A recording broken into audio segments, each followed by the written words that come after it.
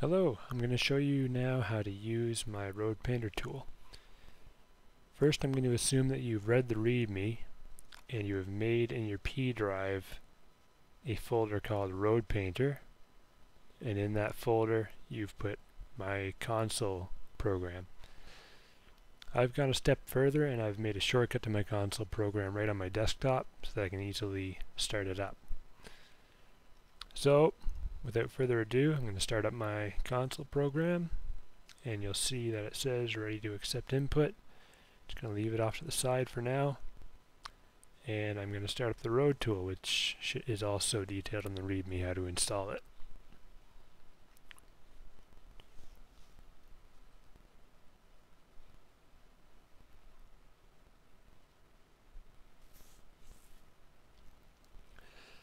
So this tool works as a mission.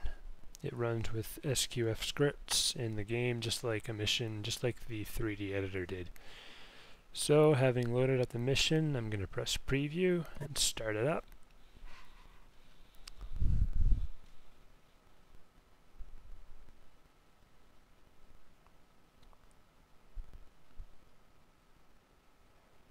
Okay, and we're in. Now it started the camera at the location of the player, which is uh, of interest if you want to edit a specific portion of the map. So I'm going to explain the GUI a little bit here. It's pretty simple.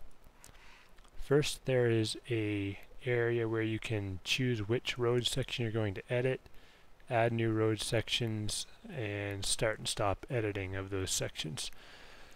In the future there will also be a delete section, but uh, not for this version right now. So it has first off a list box which contains all of the current sections that are being edited. It has an edit box where you can edit the name to use for a new section and it has info for the currently selected section which is all blank right now. And it has a button to start a new section.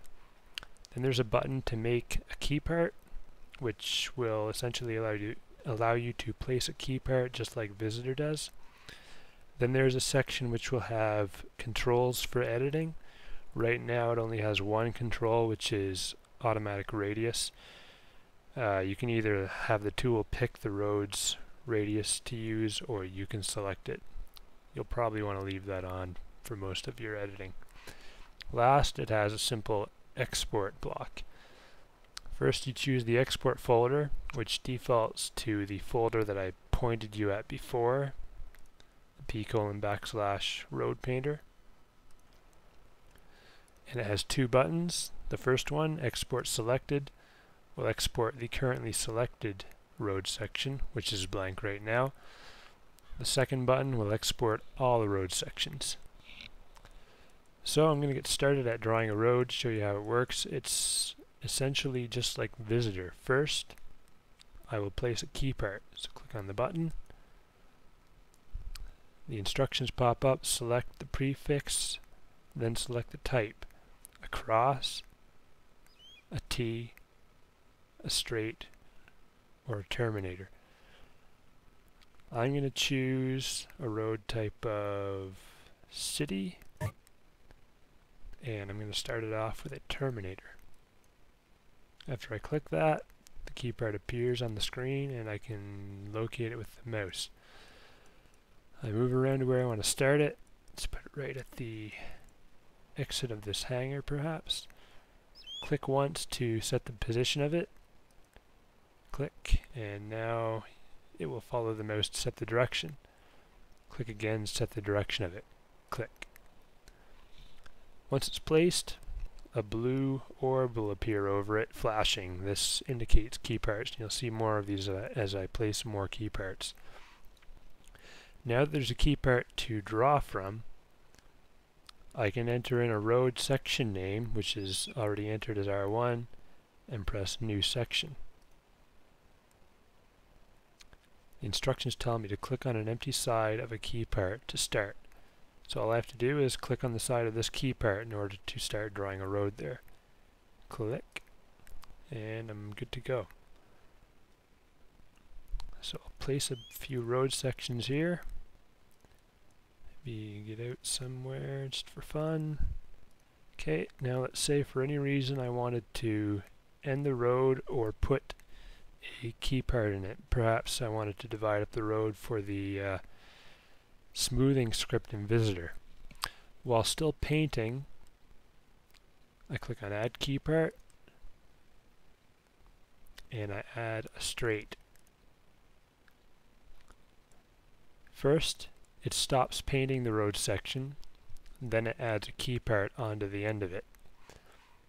Now you'll notice that I have a bunch of dots flashing along the, the uh, section that I just drew. These simply indicate the selected section in this list box up here.